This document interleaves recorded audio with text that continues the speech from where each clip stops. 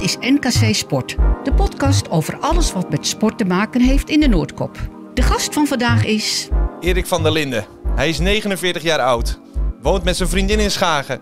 Werd meerdere malen Nederlands kampioen op de triathlon en één keer bij de 5 kilometer veldlopen. Hij deed mee aan de eerste Olympische triathlon die in Sydney werd gehouden en werd daar 42ste. Zijn bijnaam is de Adelaar van Schagen. Ja, welkom uh, Erik. Ja, uh, graag uh, dat ik hier mocht komen.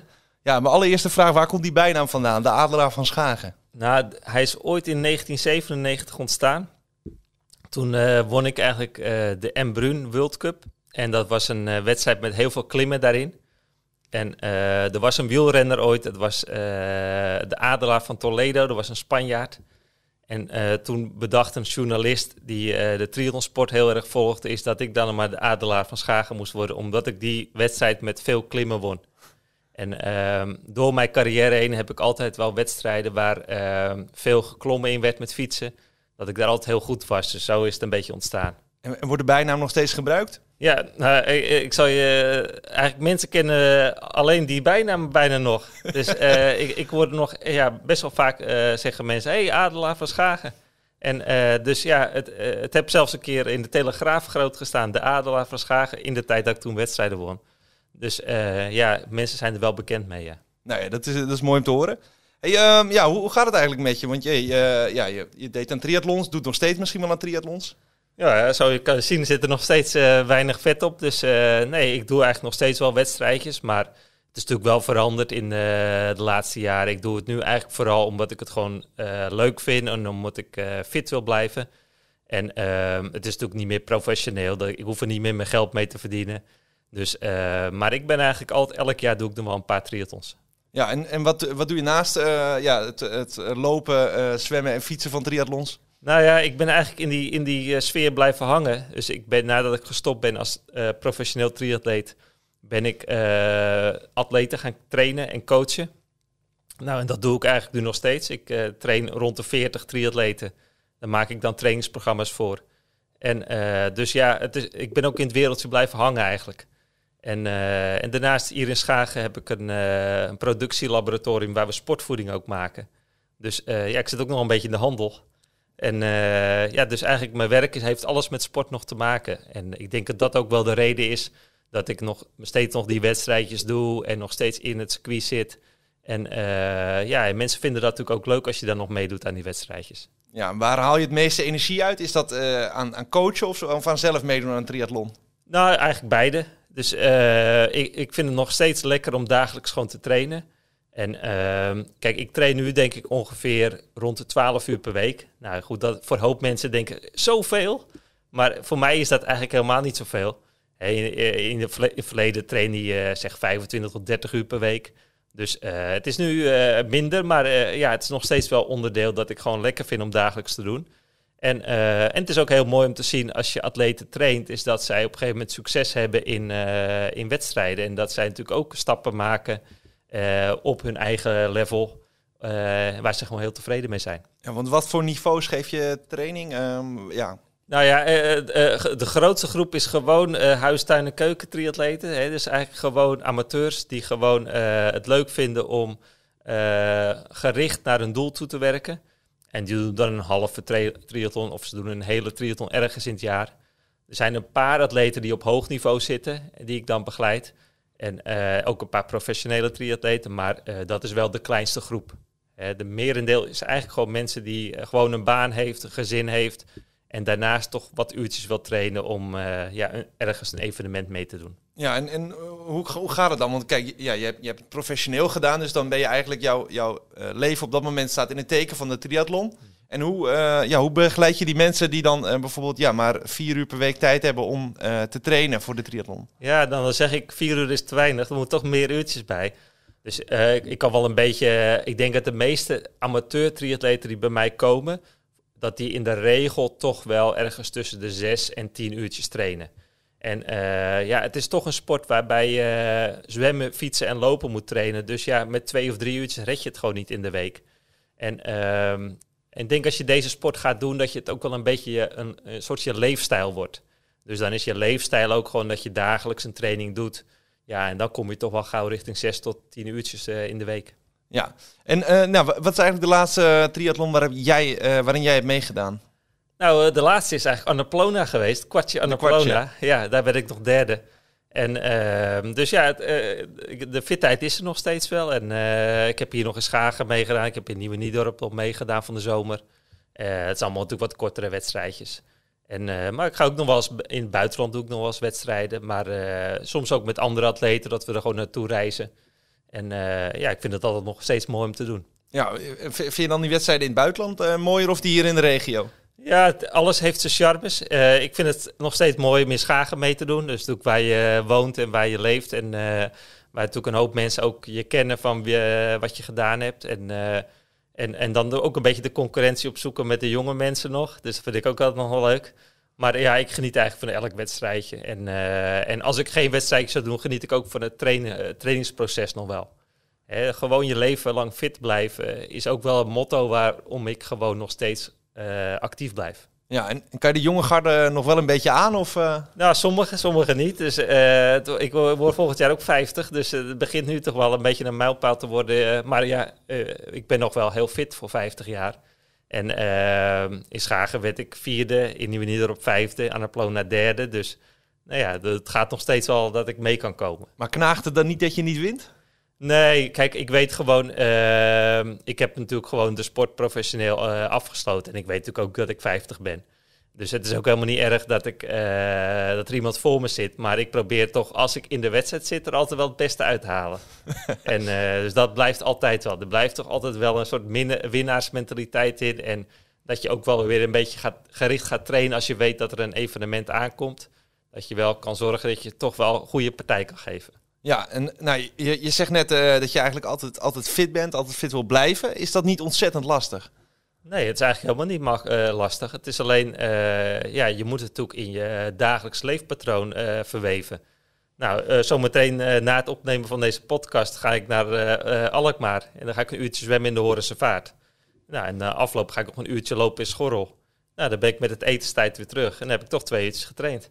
Ja, en, ja kijk, voor sommige mensen is dat, lijkt dat heel veel. Maar ja, als het in je dagelijkse leefpatroon zit ingebakken, dan is het eigenlijk helemaal niet ingewikkeld om fit te blijven eigenlijk.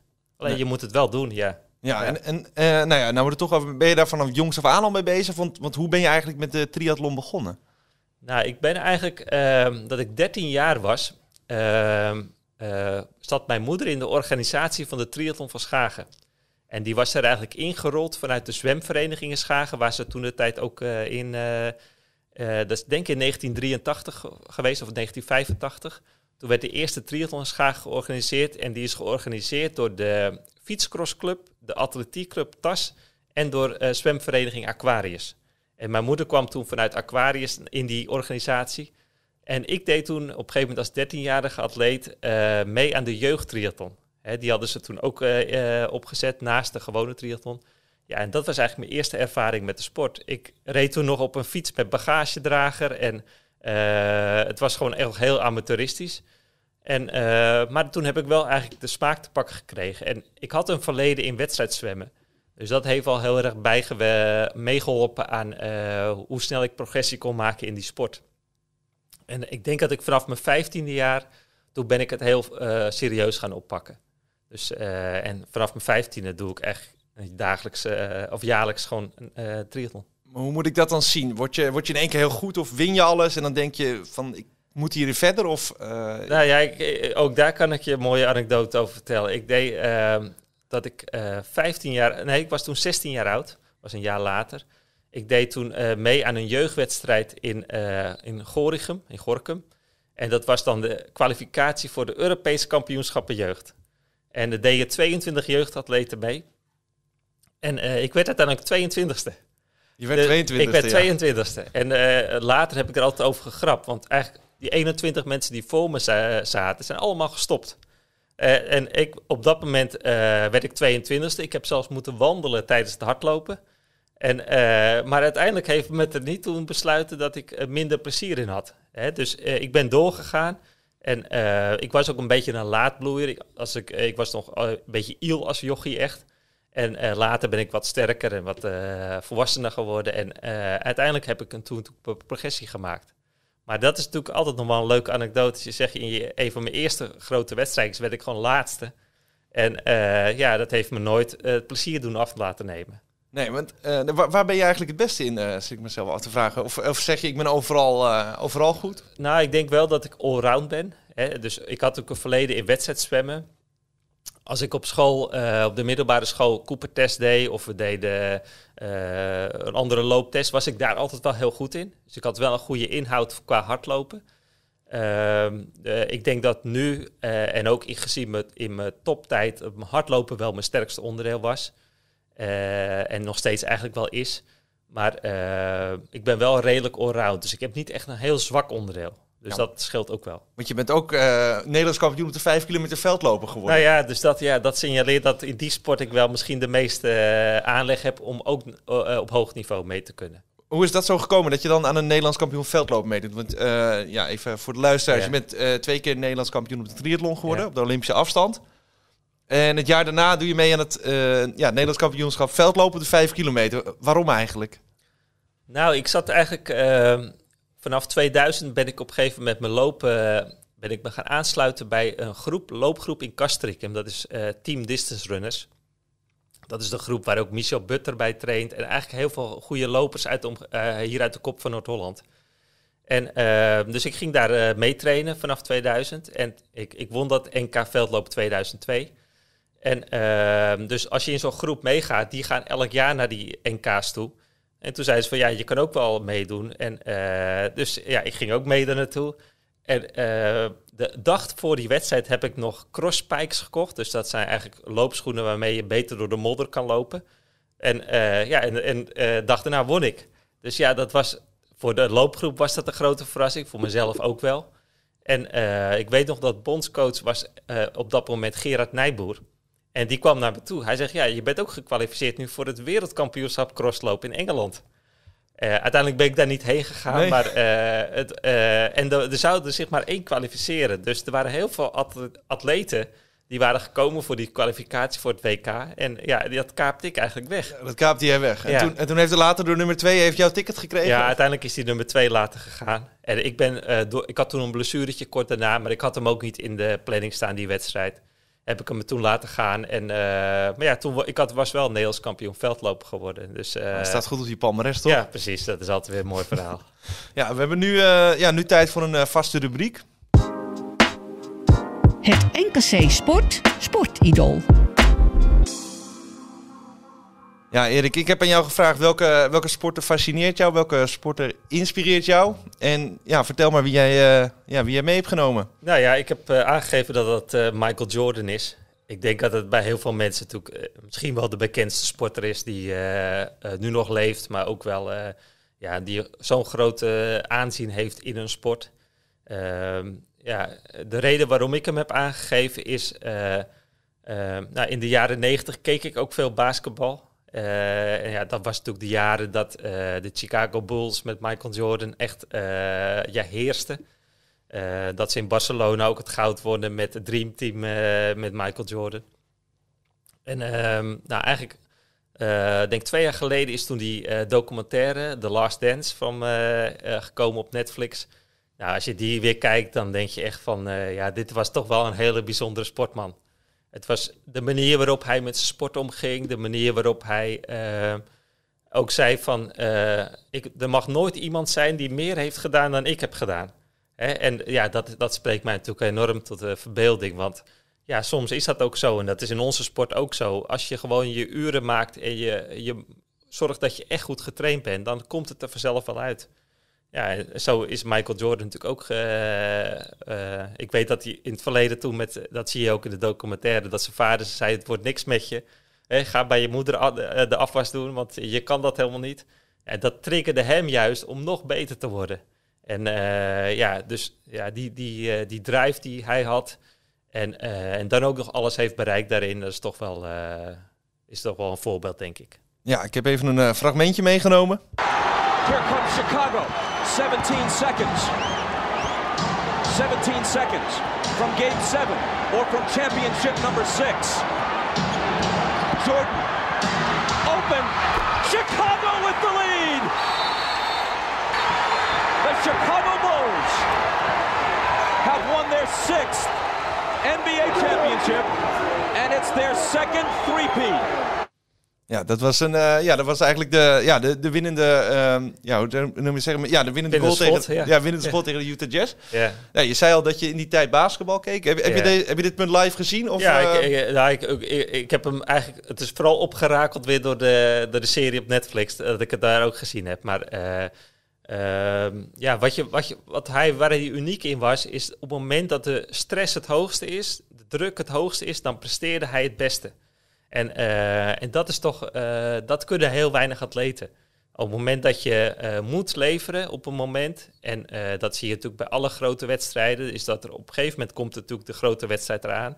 Ja, en wie op dat moment dat het moet geleverd wordt, kan leveren. Ja, dat is natuurlijk een, een eigenschap die niet iedereen heeft. En kon jij dat in je carrière? Ja, soms wel, maar soms ook niet. Hè? Dus ik denk dat hij daar echt een voorbeeld van was, dat hij extreem goed daarin was. En, eh, maar er komt natuurlijk heel veel bij kijken op het moment dat er een groot evenement aankomt, waar er heel veel druk op zit. Om dan, eh, ja, dan moet je mee eh, leren omgaan. Hè? En, en dat kost een atleet soms ervaring om daarmee om te gaan. En soms moet je ook falen om weer daarin te groeien. En Michael Jordan zei ook wel eens, ik heb ook heel veel gefaald voordat ik succes had. En ja, en soms is dat ook gewoon zo.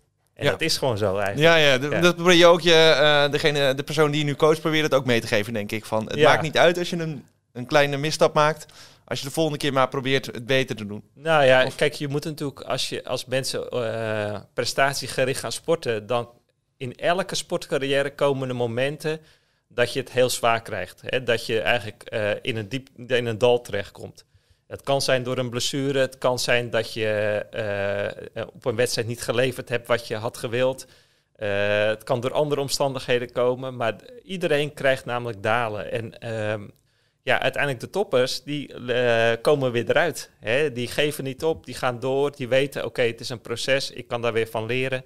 En eh, ja, zo is het soms. Het, het is gewoon vallen en opstaan. En er is gewoon niks zo eerlijk als sport, want ja, je kan het niet kopen. Je kan het niet zeggen, je kan niet door vriendjes eh, te worden met mensen, kan je je hoger opbrengen. Je moet het echt zelf leveren. Ja, nou, Dus, en, en dat deed Michael Jordan. Ja, hij heeft meegedaan aan de Olympische Spelen. Eh, jij ook, eh, eigenlijk aan de Ja. eerste triathlon in, eh, in 2000. Hoe, eh, hoe was dat voor jou? Ja, ik, ik heb daar ook, eh, eh, ondanks mijn prestatie, heb ik daar wel hele goede herinneringen aan. Het was voor mij echt wel eh, qua prestatie eh, ja, niet hetgeen wat ik verwacht had. Eh, Ik ben natuurlijk 42ste, er deden 50 triatleten mee. Eh, ik werd een half jaar daarvoor nog eh zesde, op de, WK, op het wereldkampioenschap. Dus ja, mensen hadden toch een beetje de verwachting dat ik wel top 10 ging halen. En dat lag bij mij ook wel een beetje als grote doel.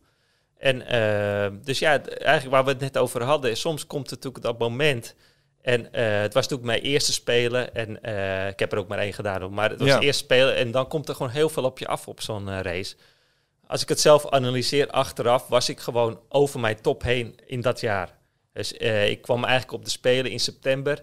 En ik had eigenlijk het hele jaar wel goed gepresteerd. Maar misschien was het hele jaar gewoon te goed. Ja, dus, En kon ja ik dat niet je over de piek heen zat. Ja, ik eh. was een beetje door de, over mijn piek heen. En dat achteraf, als ik me analyseer met trainingen, ook daar ter plekke voor de race, was het ook een beetje eh, het, het geval. Daar heb je natuurlijk heel harde les van geleerd, is dat je in een jaar dat gewoon de belangrijkste wedstrijd een spelen is, dat is voor de meeste atleten zo, ja, dan is eigenlijk al het andere ondergeschikt. En, eh, en ik, ik wilde toch ook die andere wedstrijden. Er was toen een Europees kampioenschap in Nederland. En dat wilde ik toch ook meepakken.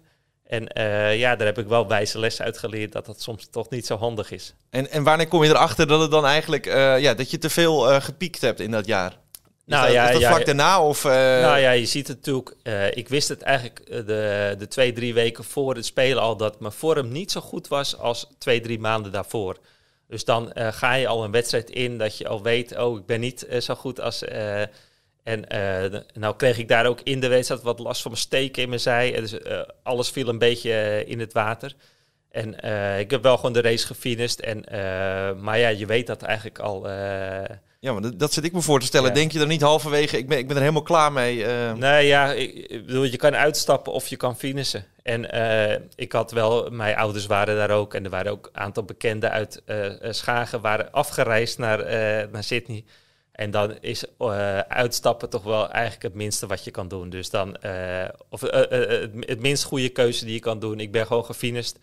En dat was in 42 positie. En ik heb daar, ja, het was een beetje een, eh, een, eh, ja, een eh, deceptie voor, de, voor je, voor je de wedstrijd daar. Maar ik, heb, ik heb er toch met heel veel plezier op teruggekeken. Kijk Ja. er nog op terug. Nou, dat is hartstikke mooi. Ja, ik, eigenlijk over jouw carrière zou ik nog één ding willen vragen. Wat is, wat is voor jou nou het ach- absolute hoogtepunt van jouw carrière? Want je hebt aan Nederlands kampioenschappen meegedaan, Europese kampioenschappen, wereldkampioenschappen en zelfs de Olympische Spelen. Wat, wat is voor jou nou echt het hoogtepunt eh, uit je triathlon eh? Ja, dat is altijd lastig om eh, uit al die dingen te kiezen. En het is helemaal niet zo dat als je ergens wint, dat dat nou het grootste hoogtepunt is. Ik had wel dat ik in 97 won ik eigenlijk een wereldbeker. En dat is tot op nu toch, heeft nog geen één Nederlandse man dat eh, gehaald eigenlijk. winnen van zo'n wedstrijd. Dus ik vind dat voor mijzelf is altijd nog wel, dat is echt de Embrun World Cup. Ehm, dat is voor mij altijd wel een hoogtepunt. Maar ik weet ook wel dat ik de eerste keer dat ik Nederlands kampioen bij de junioren werd, dat was in, gewoon in Sittard geloof ik in ehm, 1993. En eh, dat ik de eerste keer dacht van ik ben Nederlands kampioen geworden. En eh, eh, bedoel, dat is, dan word je ook wakker en denk je, wauw. Alleen het was toen nog op een lager schaaltje. En, en elk jaar ga je dan een stapje hoger. Dan ga je naar de elite en dan ga je naar de EK's en de WK's en de Spelen.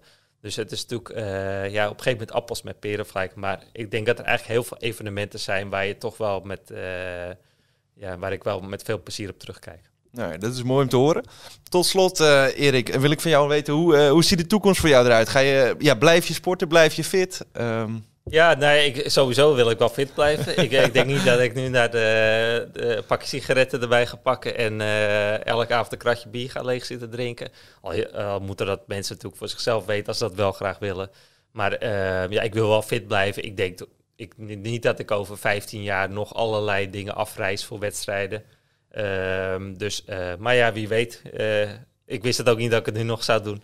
Dus je, je weet maar nooit. eh, ik zorg in ieder geval dat ik gewoon fit blijf en dat ik gewoon lekker eh, mijn werk kan blijven doen in, het, hetgeen wat ik leuk vind, is, andere mensen trainen. En, eh, maar ja, ik zal altijd blijven bewegen. Ik ben niet het type om niet meer te trainen. En oh, het is ook omdat ik weet wat, als je fit bent, wat het je kan brengen. En zeker als je ouder wordt, wat een fit lijf gewoon het verschil maakt met als je niet meer fit bent. En eh, ja, tot je 50ste, 60ste jaar merk je niks van als je ongezond leeft. Maar je ongezonde leefstijl komt naar uiting na je 50ste, 60ste jaar. En ja, dat probeer ik toch zo lang mogelijk te voorkomen. ja, en wat vind je nou van de uitspraak, hardlopers zijn doodlopers? Ja, ja ik, denk dat- er een, een- in elke waarheid iets zit. Hè, dus eh, mensen die niet sporten zeggen, ja, eh, kijk, er, gaat, er valt er weer eentje neer bij, bij een evenement. Ik denk wel eh, dat als je gewoon goed voor je lichaam zorgt en, eh, en je gewoon dagelijks wat doet, dat dat beter is dan niks doen. Eh, de vraag is ook of extreem veel trainen, of dat nou gezonder is dan matig trainen. Ze zeggen toch wel dat matig trainen iets beter is weer dan extreem veel sporten. Nou, denk ik wel dat ik in de categorie wat extremer veel sporten val. En dus ja, het is ook wel een experiment. Hoe, hoe houdt het lichaam zich als hij het hele, jaar, hele leven fit blijft? Of eh, krijg ik ook vanaf mijn zestigste eh, dat ik naar het ziekenhuis moet voor eh, allerlei pijntjes en kwaaltjes? We zullen het zien. We zullen het zien. Nou, dat is een mooie afsluiting. Hartstikke bedankt voor je komst, eh, Erik. En eh, nou, we zien je vast wel bij een triathlon ergens in de buurt eh, binnenkort. Ja, en eh, misschien doen we ooit nog een keer de update. Komt helemaal goed. Hartstikke bedankt eh, voor je komst. ja, jullie ook bedankt. Dit was NKC Sport. Volgende week een kakelverse aflevering.